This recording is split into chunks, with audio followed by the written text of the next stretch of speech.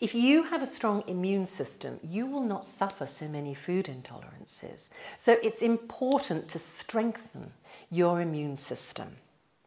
Two very easy ways to do that. The first is to stimulate lymphatic points along your spine. On either side of your spine, not on the bone itself, but on either side, there are all these little points which are neurolymphatic reflex points.